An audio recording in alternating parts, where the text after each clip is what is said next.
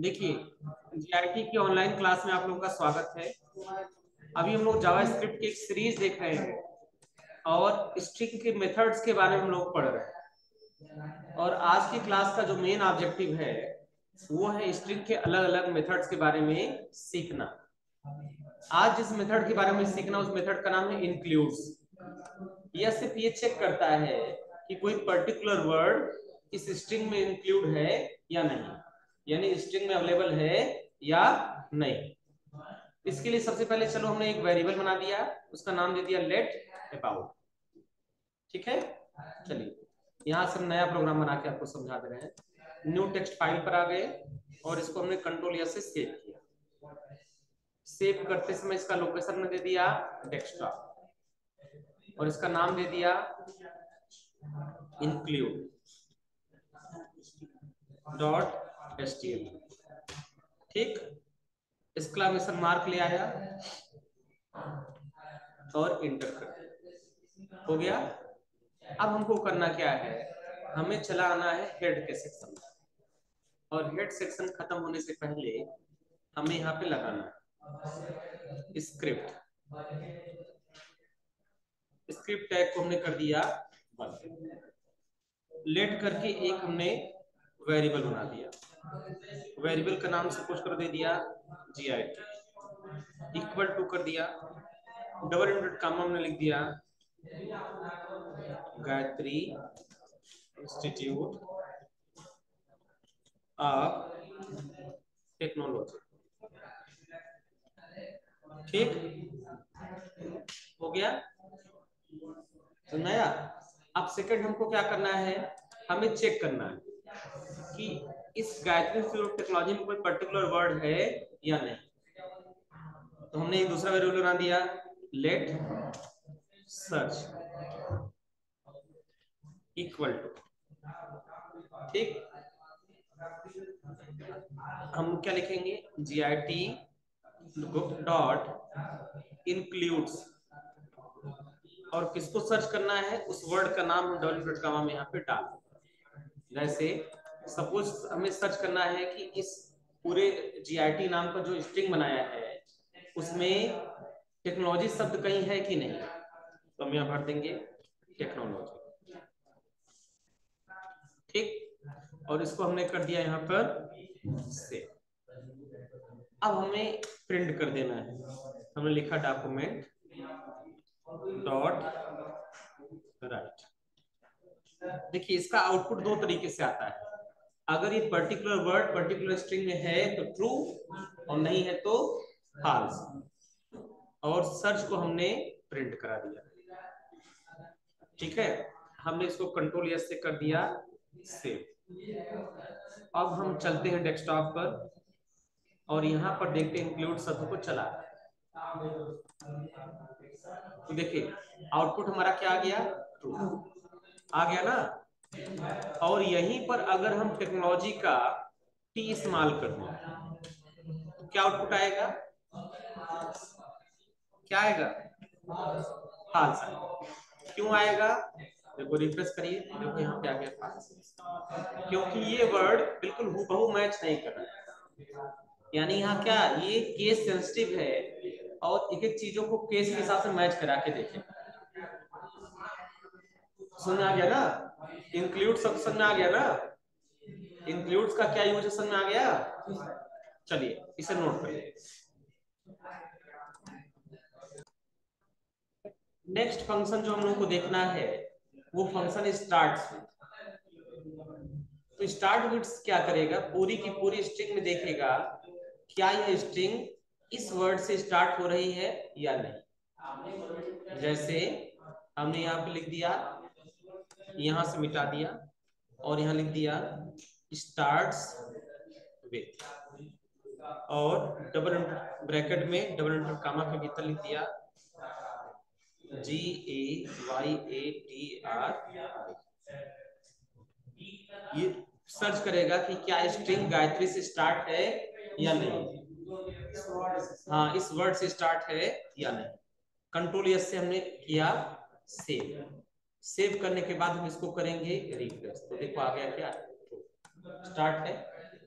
चलो, थोड़ा सा और ट्राई करते हैं। हमने इस बार केवल शुरू के तीन अक्षर ले लिए जी ए वाई और कंट्रोल एस इसको कर दिया से और इसको हमने कर दिया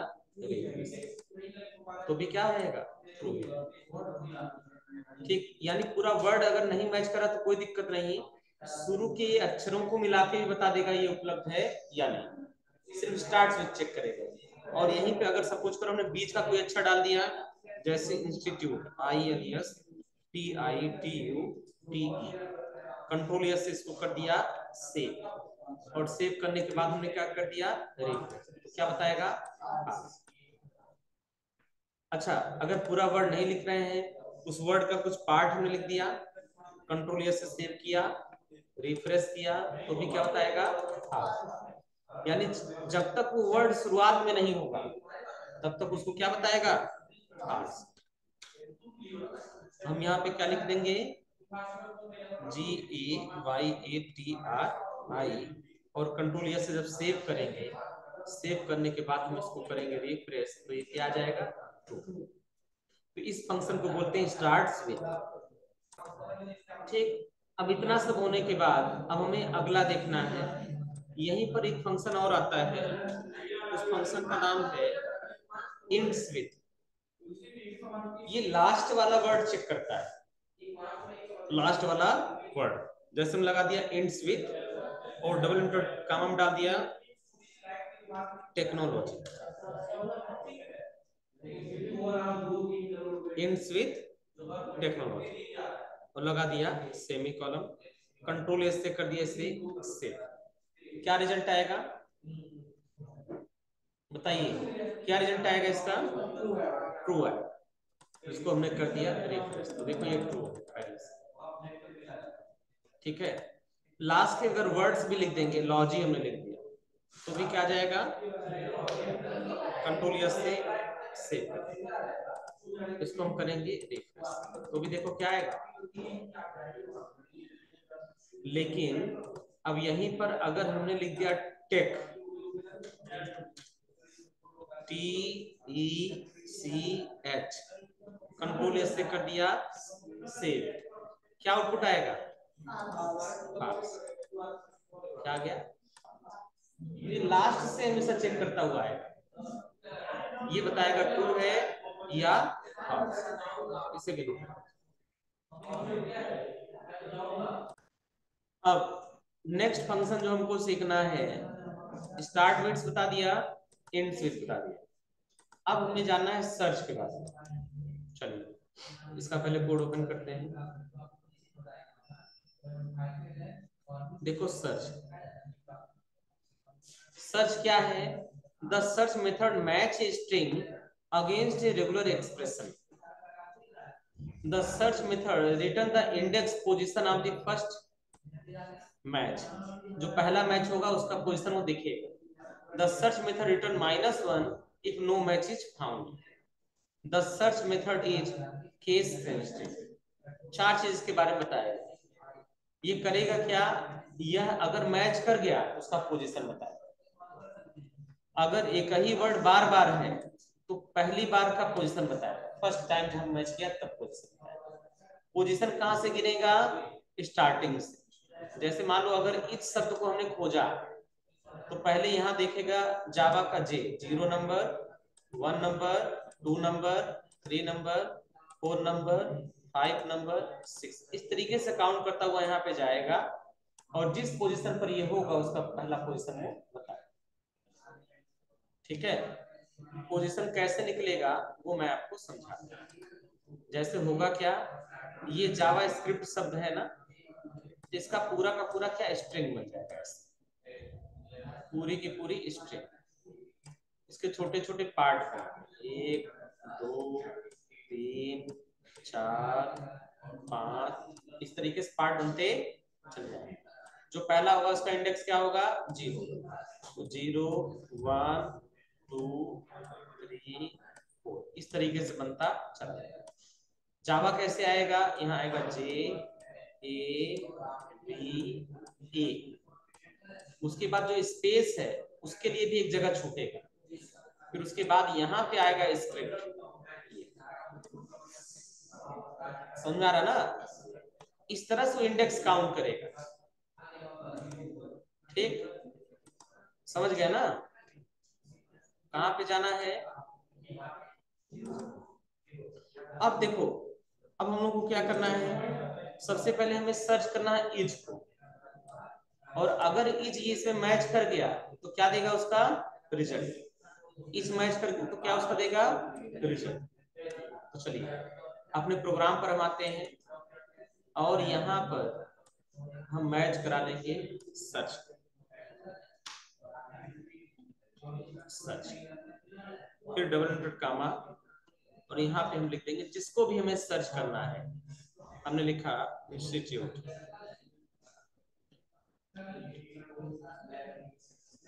ठीक, और इसको हमने कर दिया फिर कंट्रोल एस से इसको कर दिया सेव अब आप बताओ, इसका आउटपुट क्या आएगा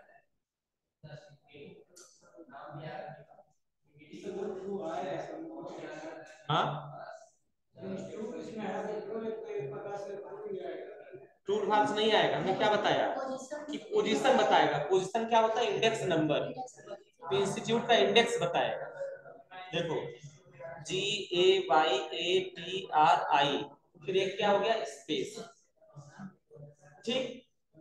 तो ज़ीरो से चलेगा सेवन तक। ये आठवां पोजीशन इसको बताएगा कंट्रोल एक एक अक्षर को एक एक एक एक पॉइंट देता चला जाएगा। एक एक नंबर जैसे गायत्री में जी ज़ीरो पे आ जाएगा ए फ़र्स्ट पे आएगा। वाई हाँ एक एक लेटर का एक एक बना देगा सीरीज़ कंट्रोल या से इसको करिए सेव और पेज को करिए रिफ्रेश देखिए बता दिया ना आठवां पोजीशन बता दिया ना कैसा है आठवां पोजीशन और अगर ये मैच नहीं किया सपोज़ करो, ये अगर मैच नहीं किया, हमने ये स्पेलिंग लिख दिया कंट्रोल एस से सेव किया। और अगर ये मैच नहीं करेगा तो क्या आउटपुट आएगा? माइनस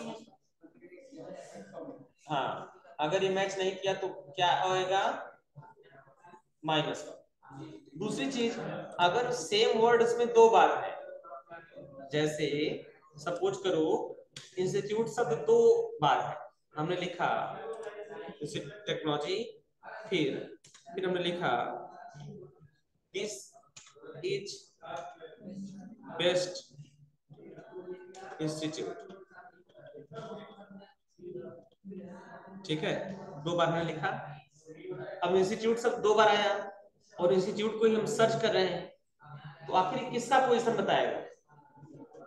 जो फ़र्स्ट टाइम आया, उसका पोजीशन बताएगा सेकेंड टाइम का पोजीशन नहीं। कंट्रोल यस से हम क्या करेंगे से से और हम यहाँ पे करेंगे इसको रिफ्रेश तो फ़र्स्ट टाइम का क्वेश्चन ने आठ बता दिया, जबकि इंस्टीट्यूट शब्द आपके इसमें दो बार है उसने क्या किया? सिर्फ़ एक बार वाले का क्वेश्चन बता दोनों लाने का तरीका अलग है। आगे हम पढ़ाएँगे एक नया फ़ंक्शन उसमें। ठीक है? तो ये सर्च वाला भी नोट कर लीजिए।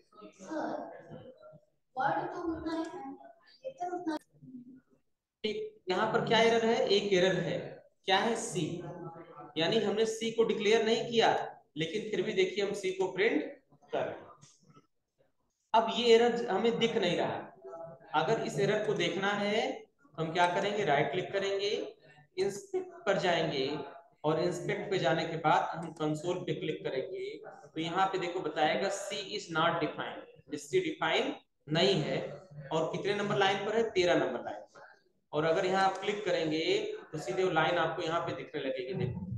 पूरा कोड हमको यहाँ पर दिख रहा है। और इस कोड में जहाँ पर एरर है, देखो, वहीं पर ये सिंबल तो क्या, ये एरर फाइंड करने में हमको हेल्प कर रहा है। ठीक है? ये हमको क्या कर रहा है एरर अच्छा कंसोल को खोजने का दूसरा तरीका, आप यहाँ थ्री डॉट्स पर क्लिक करिए मोर टूल पर आ जाइए, और यहाँ पर एक ऑप्शन आपको मिलेगा डेवलपर टूल्स आप यहाँ पर जाइए, और यहाँ जाने के बाद भी आपको कंसोल यहाँ पे सुनाया, इस तरह जो एरर है, उसको कौन दिखाता है? यही कंसोल ठीक? अच्छा अब इसका आउटपुट, जैसे मान लो हमने डॉक्यूमेंट डॉट राइट पे लिखा तो आउटपुट किस पर आ गया? हमारे ब्राउज़र पर आ गया। लेकिन हम आउटपुट इसके कंसोल पर देखना चाहते हैं। तो हम क्या लिख सकते हैं? हम लिखते हैं कंसोल डॉट लॉग जहाँ डॉक्यूमेंट डॉट राइट लिखते थे, वहाँ पे क्या लिखेंगे? कंसोल डॉट लॉग और इसको हम कंट्रोल यहाँ से सेव करेंगे। सेव करने के बाद हम यहाँ से पेज को रिफ्रेश करेंगे। रिफ्रेश करने के बाद। कहा गया हमारा पेज एक बार दोबारा ओपन करते हैं। कंसोल इसका आउटपुट हम यहाँ से दे। कोई आउटपुट आया? नहीं आया। हमने क्यों? क्योंकि हमने प्रिंट कहाँ पर किया था? लॉग कंसोल पर प्रिंट किया था। तो जैसे हम कंसोल यहाँ से खोलेंगे, हमारे कंसोल पे देखो आ गया कितना? इस तरह कोई भी चीज़ अगर हमें टेस्ट करना है ट्राई करने के लिए, बहुत सारे कोड हैं एक लाइन को चला के तो देखेंगे नहीं। तो हम उसको करते क्या है? हम उसके आउटपुट को टेम्परेरी देखने के लिए क्या करते हैं? कंसोल का इस्तेमाल करते हैं। क्योंकि ये रिज़ल्ट जो यहाँ पे शो हो रहा है ना, ये परमानेंट नहीं है। ये क्या है? टेम्परेरी अगर इसको हम यहाँ से क्लियर कर देंगे तो खाली हो जाएगा। तो टेम्परेरी अगर किसी प्रोग्राम का रिज़ल्ट हमें देखना है, हम यहाँ से देख भी सकते हैं। और ये कंसोल बहुत काम का है। यहाँ कोई भी हम कैलकुलेशन कर सकते हैं। हमने लिखा 25 प्लस पच्चीस। देखो अपने आप पचास आया आया ना? हमने लिख दिया चालीस माइनस बारह। अपने आप अट्ठाईस कंसोल क्या है? बहुत काम का। ठीक। तो कंसोल इसलिए बनाया गया, इसको डेवलपर लोग इस्तेमाल करते हैं। क्लियर करना है तो क्लियर करके बात। चलिए, अगला चीज़ क्या दे रखा है? इसी तरह किसी भी चीज़ को हम प्रिंट करना चाहें तो हम उसके लॉक पर प्रिंट कर सकते हम बी को प्रिंट करना चाहें री को कर सकते हैं। सी को करना चाहें सी को कर सकते हैं। ए को करना चाहें ए को कर सकते हैं। अब देखो। हमने देखो, सबसे पहले लिखा कंसोल लॉग ए तो कंसोल पे आउटपुट कितना जाएगा? फाइव फिर हम लिखा console dot console dot log C इस पर कितना आउटपुट आएगा? कुछ नहीं आएगा। कोई एरर आएगा। फिर उसके बाद हमने लिखा कंसोल डॉट लॉग बी इसका आउटपुट कितना आ जाएगा? टेन।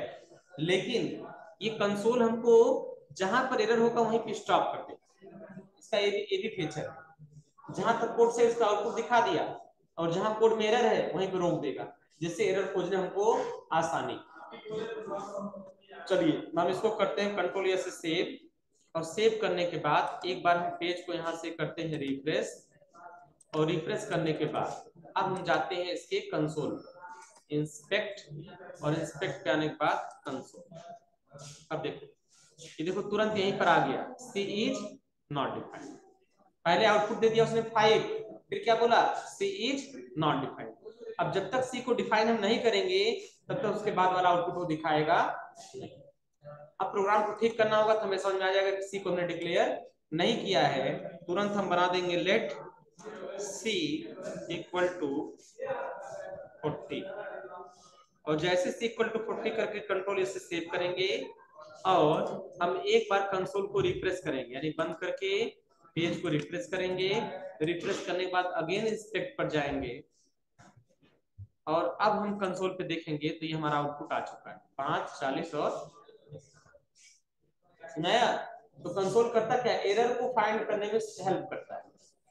कोई भी एरर खोजना हुआ तो हमको क्या करेगा? हेल्प करेगा।